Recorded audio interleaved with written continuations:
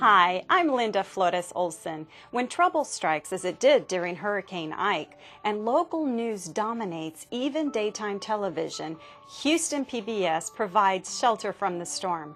An uninterrupted, full schedule of children's programs. I appreciated it, and I know my four year old Maya did as well. Once we regained electricity, I wanted to thaw, flatten, and then refreeze some strawberries that had frozen into a big ball. Maya said to me, Mommy, that's reversible change.